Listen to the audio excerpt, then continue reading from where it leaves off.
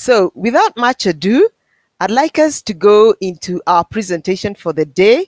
Uh, please welcome uh, Lia. Join me in welcoming Lia. Lia Brigante.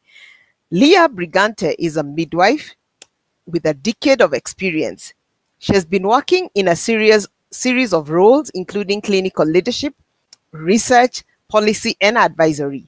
Lia joined the Royal College of Midwives in 2017, contributing to improvement of maternity policy and midwifery practices across the UK and internationally, working with the European Midwifery Association and the European Forum for Nursing and Midwifery, and representing ICM on WHO guidance development groups. In her development role as consultant midwife in public health at Guy's and St. Thomas NHS Foundation Trust in London, Lia led the Lambeth Early Action Partnership mid, uh, maternity portfolio and developed an innovative social prescribing service for the prenatal period.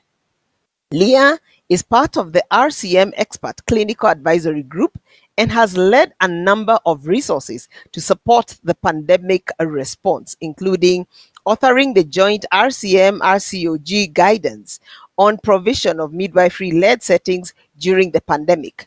Lia has conducted research on midwife led settings provision, the role of consultant midwives, and higher risk women's experiences of midwifery continuity of care as co investigator of the POPPIE trial at King College London as part of her MSc in Implementation Science, and Lia holds an affiliate research contract with King's College London and is a guest researcher for MSc programs in global and public health at King's College London and City University of London.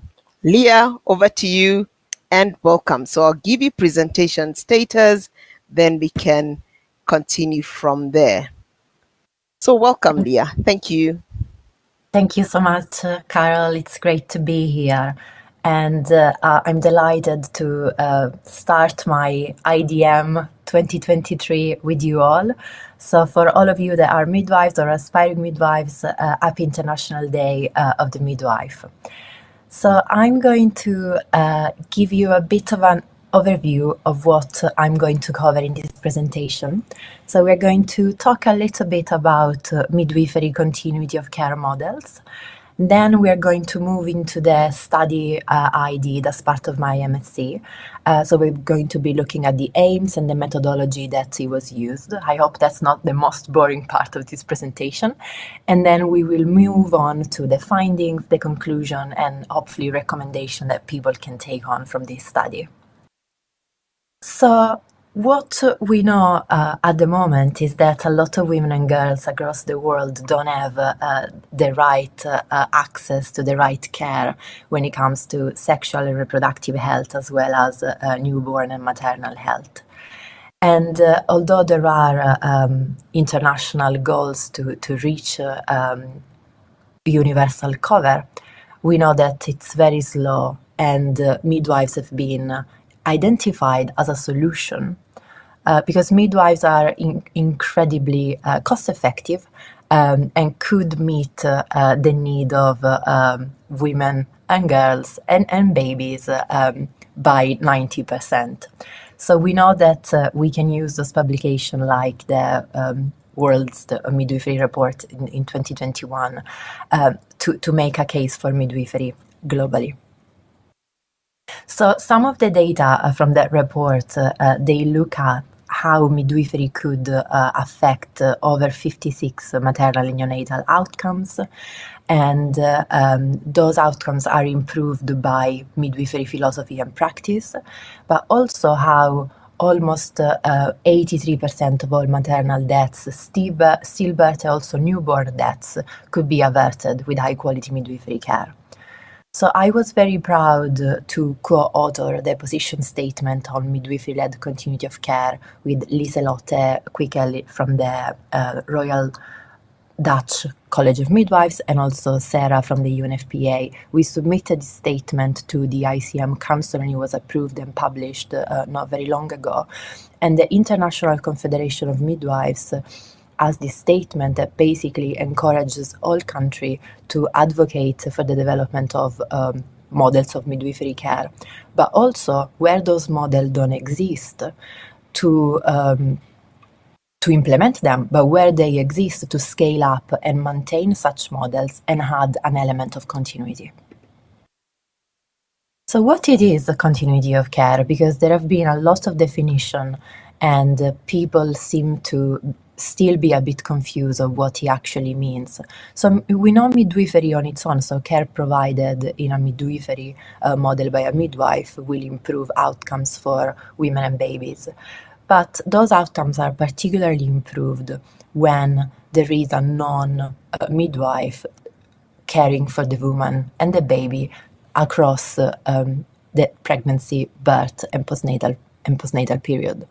So, what continuity of care is, is care provided by a non midwife and a small team to support as a backup, often this is provided with a buddy or a partner midwife. And those midwives work in partnership with the women and they are able to lead uh, care provision and care planning for these women, as well as providing and delivering care. Obviously, those uh, um, midwives don't work on their own, they are part of a wider bigger uh, network of multidisciplinary team and they are able to refer uh, to specialists as necessary and make sure women receive the right care the right time. And this this data is based on the Cochrane review that Jane Sandall and, and the team led. So I'm not going to go into all of the uh, outcomes from the Cochrane review, but if you're not familiar with the Cochrane review, I would invite you to go and have a look because every time I look at it as a midwife, I'm very proud that midwifery can make such a difference. So most of the outcomes that uh, have been shown to be affected in the Cochrane review have to do with uh, um, baby loss. Um, so there are there is a, a reduction in gestational loss uh, by 19% before 24 weeks and 16% in general. Women are 16% less likely to lose their baby. They also have a reduction in preterm birth by 24%. And there are some outcomes that apply to intervention during labor. So women are less likely to have an epidural, or they're less likely to have an instrumental birth or an episiotomy.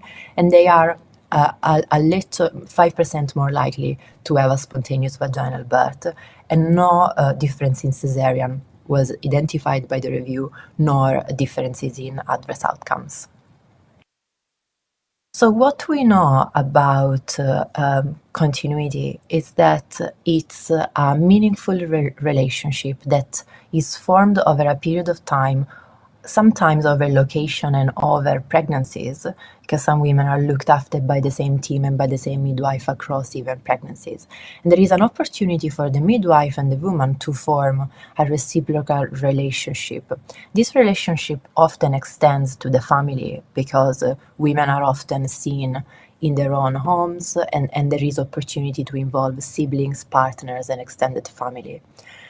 Obviously, this is a complex intervention because it's a model of care that has a number of uh, intervention offered within this model and we're going to go and look a little bit into the de- details of those. So we don't really understand what the mechanism is.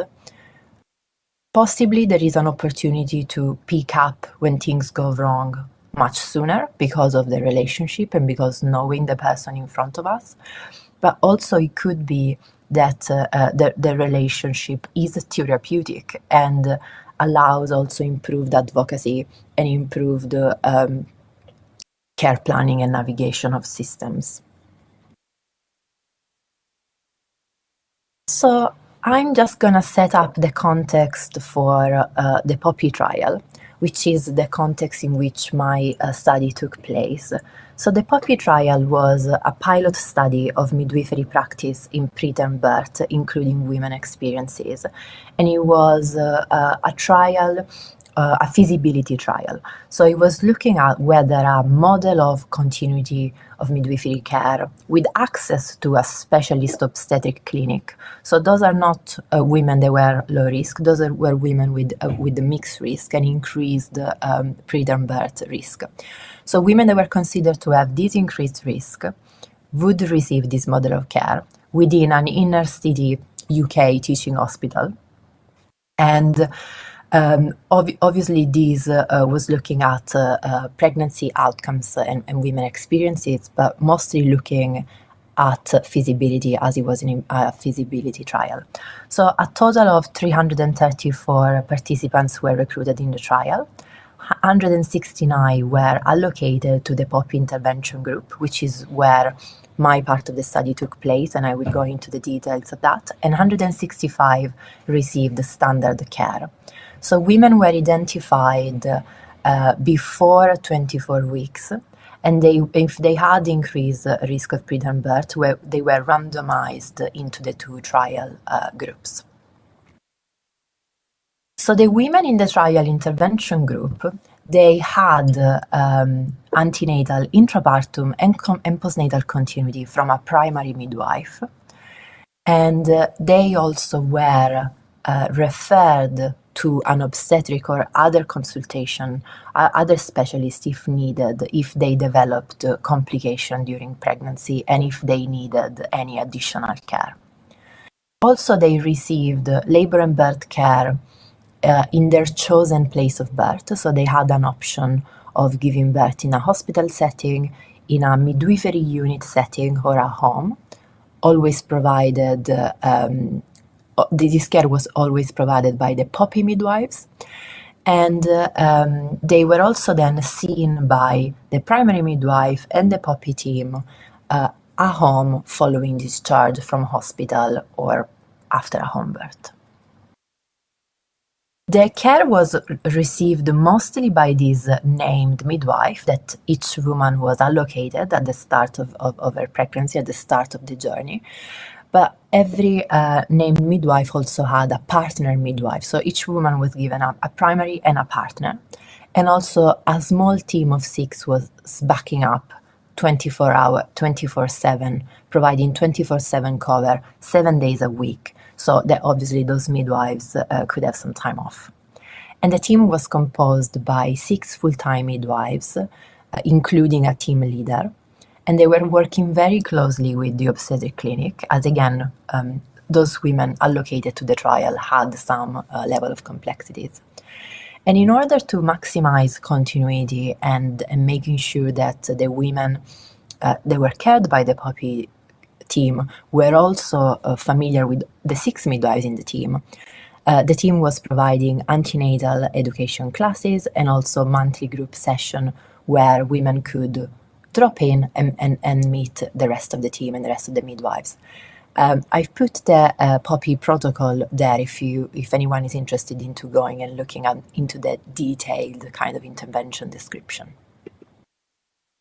So the aim of my part of the study, the study, which was set within the trial, but it was a, a, a, sm- a small study, was to look at the views and experience of women in the midwifery continuity of care intervention group, and try to identify core aspects of continuity from the women perspective, and possibly to use some of these uh, uh, findings on the core aspect to inf- inform development of continuity of care in this specific setting, but also more generally, because some of these could be transferable. So the methods I used were qualitative interviews. Those were semi-structured, in-depth interviews uh, after the, the women had uh, their baby, so in the early postnatal period. I had a topic guide, so I had a bit of a set of questions I wanted to ask, but it was more of a flowy conversation all interviews happened in the women's home. They were audio recorded, they were then transcribed, anonymized, and uploaded on NVivo 12, which is just a software for uh, analysis. The sampling was uh, um, purposive, it was uh, the same criteria they applied to the trial uh, participation applied to my uh, to my study. So obviously, all the women I interviewed they matched one or multiple risk factor for preterm birth. I ended up contacting 20 women and 16 uh, agreed to be in- interviewed. And although um, there was an attempt to seek variation in socioeconomic group, ethnicity, parity, and obstetric history, you will see my, my sample was diverse, but not super diverse. So the data analysis was um, using uh, Braun, and, Braun and Clarke, the six stages described.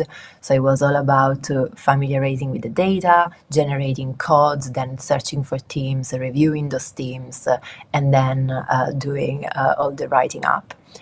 Um, we um, we were. I had a team. I had a supervisor because of my master, and obviously uh, the wider uh, POPPIE trial co-investigators. Some of them were were involved with this part of the study, supporting me. So some of the interviews were double coded, and uh, uh, although the analysis was inductive, um, we then were kind of going back and making sure that the teams applied to the whole data set, and they were not uh, very uh, dissonant teams. And the recruit, recruitment kind of continued until uh, we achieved um, data that, uh, that, were satisfying, but also within the project timeline because I didn't have a lot of time for this study. So, in terms of participants, uh, most women uh, that were part of the study lived in a deprived uh, urban area, although uh, the household incomes was above the median average UK uh, income. Um, obviously, we were in London, so uh, London also has slightly different median income compared to the UK household. So in terms of demographic of the participants, I had, uh, um, you can see here, I had a, a, good split in terms of age. Um, in terms of education, um, it was a, a well-educated group. Um, more than half were educated at degree level of higher degree le- level. I had uh, the ethnicity split, uh, um, the, the, European kind of included UK and uh, Eastern European or, you know, outside of the UK European. Uh, and then I had two women from Africa or Afro Caribbean uh, ethnicity and one mixed and one Asian.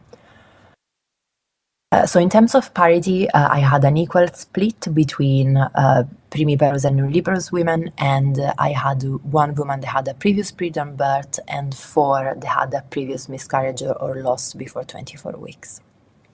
So in terms of birth outcomes, uh, this was quite an interesting uh, sample because um, majority majority of the women planned to give birth in a midwifery-led settings, and this included the option available to them as alongside and home births. But um, as you can see from the birth outcomes table, actually um, not uh, not uh, all of them ended up in their favorite place of birth, and two participants experienced preterm birth, although their babies were uh, alive and healthy at the time of, of data collection. And uh, yeah, as you can see, we had um, a, a, split in uh, vaginal birth, ten out of sixteen. Um, and then uh, one elective cesarean and four emergency cesarean.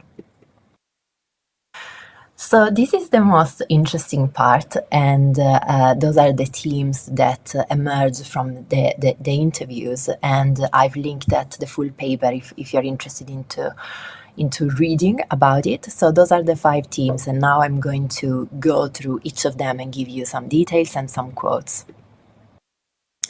So the first uh, team uh, was accessibility. So this was described as um, women really enjoyed having this direct access to a named midwife and a team. This, this meant they had a mobile number they could call. This number was obviously a 24 7 number that was split between uh, the, the team in terms of covering those 24 7 hours. But what it meant in practice is that women didn't have to call the hospital switchboard, introduce themselves, uh, give their data. They, they had a real responsiveness, but also somebody that knew uh, them was picking up the phone and they didn't need to repeat their medical or obstetric history. Uh, so one of the quote here is this woman say, if I needed anything, she was there. I could text her, you know, I could speak to her. It was completely different. She was there all the time. This is where I actually took the title of my uh, paper because it was this idea of this woman had a baby before and she didn't have the kind of constant presence uh, uh, in the background of this midwife that she knew.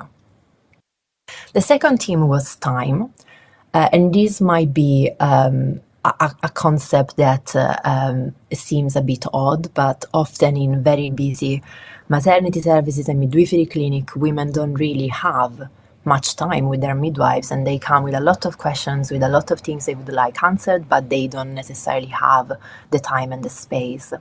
And this was very different in the POPPIE team um, care because we, women said the midwives were extremely generous with their time.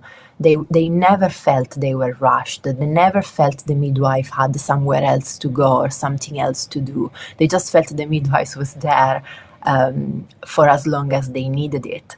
The, the midwives were providing um, antenatal and postnatal home visits, and they also had uh, um, they also had a clinic. And at providing uh, antenatal care, for example, in, in the women's home as well as postnatal, meant that often the partner or, or older siblings could get involved uh, with the care. And uh, uh that, that kind of gave a, a, different dimension of this appointment with the midwife. The, the third theme was building relationship and uh, I um, I found a beautiful description in the data of the women describing their midwives as uh, uh, being like a friend, being like a mother, being like a sister. You know, this kind of really emotional connection and, and, and relationship with the midwives.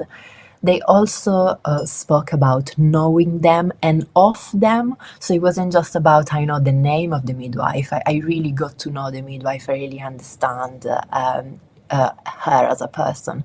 And they received social and emotional support. In fact, um, I think I had a couple of women saying how it was then difficult to say goodbye at the end of the care.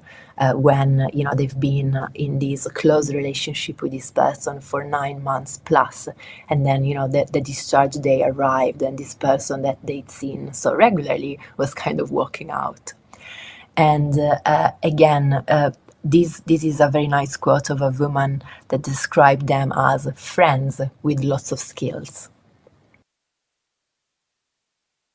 Advocacy uh, was uh, um, uh, another team that was uh, identified and kind of um, it was uh, it took place across three main stream.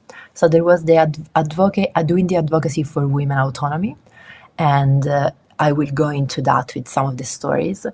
It also meant supporting free choice, including uh, women making the so-called uh, um, outside guidance uh, uh choice.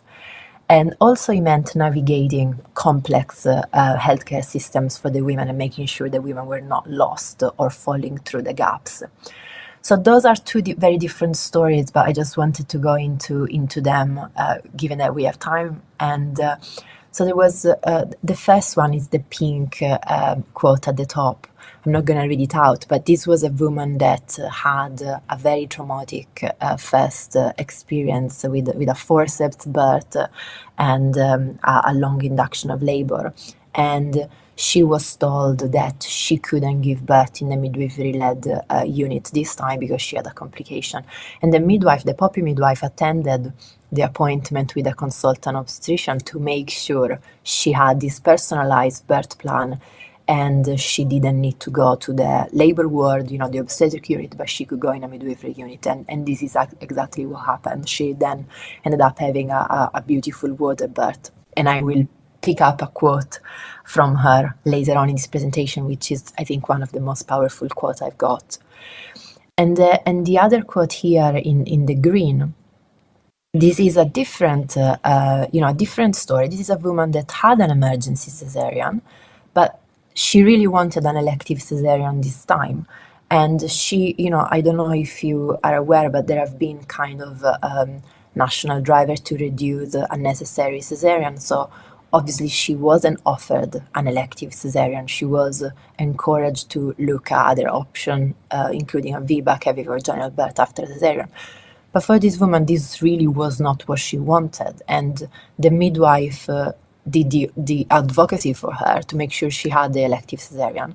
And this kind of removed all the anxiety that she had in the pregnancies, and she felt very confident about it and about the midwives, and the midwives really um, respecting her choices. Another team was trust, and trust obviously de- developed as alongside the relationship.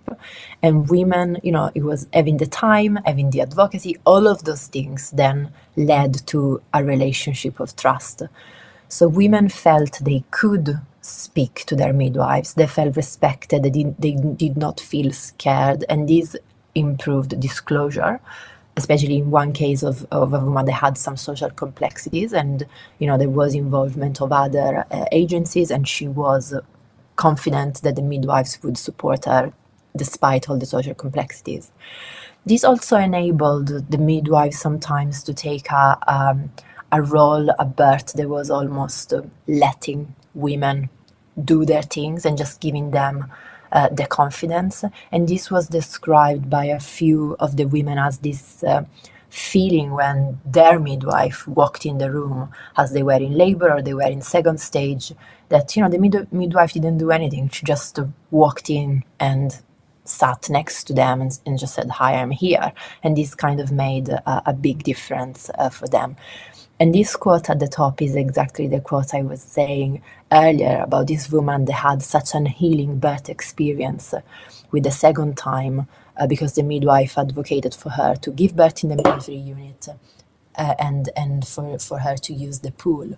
That she said my my view on birth was completely changed and now I'm able to pass a positive message about birth to friends and to my daughter, you know, this this daughter that she had birthed um, six weeks, I think, before I interviewed her.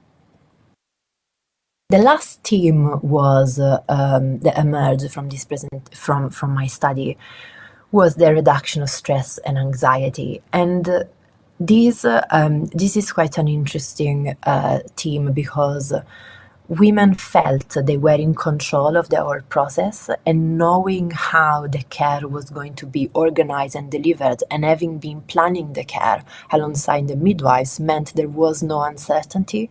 And this applied to all sorts of things even things that i've never really thought about as a midwife myself having been providing continuity um, for years in, in my own uh, midwifery experience and it was things like being very clear of you know the midwife is coming to me so i don't have to get into the car and drive in traffic you know. I don't have to look for parking. I don't have to you know it, it was this kind of uh, being clear on what to expect how how to expect it when to ex- expect it uh, it was it was a very interesting findings and also, they had this kind of uh, uh, almost background presence of the midwives 24 7. This was a, a, a, real big difference because they sometimes were not even calling the midwives out of hours. Sometimes they were emailing the midwives or texting the midwives, but they were not texting a hospital, you know, hoping someone would pick it up. They were texting this particular person and this person would get back to them with blood results chasing appointments. So they felt they had this kind of you know they were in this bubble. They were being held. Someone was held in their pregnancy and their space. And this applied uh, to postnatal care and uh, um, two of the, these women had preterm births, and those babies were in NICU, and uh, uh, and and the midwives did step in and, and, support them even when they were discharged from the hospital, and the babies were in NICU, and you know really going the extra mile and making sure um, they were not being um, they were not losing any kind of postnatal care because their babies were in hospital. And this is such a beautiful quote there as well. It, it was uh, uh, this this woman say, "As soon as midwife B arrived, uh, I stopped feeling fear, and the body obviously relaxes." So, in terms of um, this, is just to say that because the context of this trial was uh, uh, looking at the uh, feasibility of implementing such a model for women with obstetric complexities and with a higher risk of preterm birth. In the in the in my interviews, I was trying to look at, uh, you know, if there is anything that we could uh, identify that would have made a difference in terms of preterm birth. But you know, this is a very small study. There is no causation. Uh, there is some lit- literature out there that if you are more calm and confident, and, and there is less stress and anxiety, and uh, and uh, this is provided by having a social support. This can buffer the, the mechanisms uh, to stress. But obviously, uh, and there is some, some evidence out there that stress can be a predictor for preterm birth. But really, I can, I can only say, I can only conclude from this study that because they had continuity, they had uh, management and relational and information continuity, they had accessibility to the team, they were they described as you know those are the things that made us feel safe and in control. And obviously because they were in a continuity model they had very consistent care. They didn't miss appointments. They had very prompt referral. Things were spot very quickly and they had the, the, the referral that they needed. But there is no kind of uh, causation or, or association either i don't think. So the, the key conclusion uh, I draw from the study um, is that uh, recognizing that if women are cared by known midwives and those midwives are accessible all the time, these support women feeling listened to, but also to be uh, actively involved in clinical decision making. And obviously, this also then contributes to, to women feeling less stressed and anxious during pregnancy and birth, but also during the early parenthood. So I think it's very important when we look at implementation or development of midwifery continuity models of care for women with obstetric complexities that we look at those themes and make sure that we have access in place. And when I mean uh, when I say access, is this 24/7 access to have advocacy, to have time built in. So it doesn't matter if you see the see, if you see the same midwife but for 10 minutes. You know, it, it needs to be within a, a, model of care that has all those core elements and those core components that will allow the relationship to flourish and to build. So then trust and advocacy and all those other things can develop from that relationship. Um, so this is very important because it will improve outcomes, uh, it will improve women experience of care, but also it will uh, reduce uh, uh anxiety levels. So those are um, all the co-investigator and, and, and the people that have been part of the POPPIE trial journey, as well as the funders, and I wanted to acknowledge them all um, my my co-investigator, but also the Royal College of Midwives that supported me to uh, to do my master, and uh, uh King's College London, my my university, and the NIHR that funded uh, the trial, and uh, obviously. Um, a, a, very heartfelt thank to all the women that let me in their homes and told me their stories, uh, you know, very emotional at times. And the, as the midwives had been generous with their time towards uh, uh, the women. The, mid- the, the women were very generous with their time towards me, um, giving giving me their whole. Although they all had you know small babies and, and more important things to do than than talk to me. Uh, so thank you so much. Those are my contacts if you want to get in touch, and uh, I will link the the full paper if anyone is interested and wants to go in and and find out more. And I'm obviously um, here to take questions now. Thank you very much, um, Lia. A very interesting presentation, very engaging. And um, I especially like the quotes from the women. It, it felt um, like, uh, you know, very personal. You got really relational with the women, and which was a good thing. They developed confidence with you, and um, indeed, I love the quotes from that that came from the women. It makes it so real and uh, very engaging. Thank you very much. Um, there's a comment here in the public chat. Uh, the 24/7 can be uh, overwhelming for the midwives. It, it, it's great for the women to have access at any time, but does this not sometimes push uh, reasonable boundaries of a valued relationship? And then there's also another comment. Thank you, Lia. Wonderful work. And uh, we have just a few minutes to take in a couple of questions. And um, yeah. yeah. the presentation did very well. So I don't know whether you would want to respond to, to yeah. the uh, to the comments And Yeah, uh, thank um, you, Lia. Will you take this forward and make this a permanent feature of care in terms of scaling this? What sort of um, right. caseload would be carried by by a midwife? So kindly respond to those um, I uh, will, I will. questions and So, comments. Sh- Mm. Sheila, that's a great question. So, I, maybe I wasn't very clear, but the 24 7 was not provided by a single midwife. It was provided by the 24 7 team uh, backup. So, the midwives were never working, you know, here in the UK. We still follow the European directive when it comes to working hours. So, the midwives cannot exceed a certain number of hours per day or per week. So the, the in the same way you would roster, you know, if you're working on a shift pattern, uh, so you would cover a shift, uh, a rota with shifts. They were covering on calls. So yes, the the, the women get this twenty four seven access, but it's not to a single individual. It's to a team of six to a team of six that is splitting their availability um, across the week and the months. So they can all go on holiday they can all take study days they you know obviously they can go off sick if something happens. Um, so it, it's not as overwhelming as it might sound because they're not working in an independent midwifery models. They're not on call 24/7 themselves. Is the team that is sharing these uh, these this load so often you know the midwife would do seven and a half hours or 12 hours a day as she would do on a normal shift based on how uh, the rota was organized for, for that week. Um, and the women, you know, this is um, provided within the national healthcare system.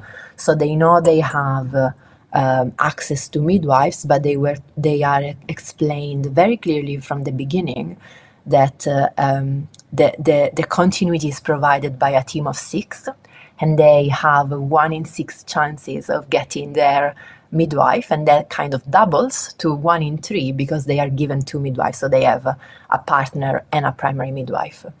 So yeah i agree. The model needs to work for, for midwives as well as it has to work for women and that's why it's a team based model rather than a um, one person doing doing it all um, I think Linda is asking if uh, this should be a permanent feature of care. So this team is still going on. They still exist. Uh, they were set up as a team for the trial in a hospital that didn't have any continuity of care at all, and uh, everything was made in place. So those midwives didn't get a, a a, a, temporary contract. They got a permanent contract and they are they are staying on and, and working in this model. Although obviously i know that uh, uh, every team has been moved around and restructured because of the pandemic uh, but it's still, it's still uh, going going strong.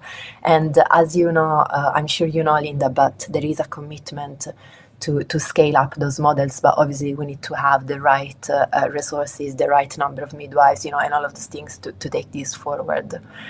And uh, what sort of caseload? So yeah, so in, I guess the caseload varies of uh, based on the complexities of the women. So those women here in the trial they had some complexities in terms of they had a high risk of preterm birth. A lot of them were in uh, MDT uh, care, so they were cared by a specialist clinic for preterm birth as well as uh, the midwife. So the midwife carried a reduced caseload. They had, um, I think, 24, uh, 24 women a month. So it was it was a, a, a small caseload, but I know it has been done in. Um, when I definitely did the caseload, it was uh, between 30, 30 and, and then 32 women a month. So, so it really depends of your population, where you are, and, and, and everything else. So I hope that answer. What else have we got, Carol, in terms of question? Oh, Joy, Joy Kemp is my Yes, uh, lovely colleague Yeah. at the Royal College. Um, I hope, she says, how do you hope your finding will change practice? Well, I really hope that uh, because we have all the quantitative data and we know how it changes uh, those are kind of obstetric outcomes and neonatal and, and, uh, and women outcomes and intervention.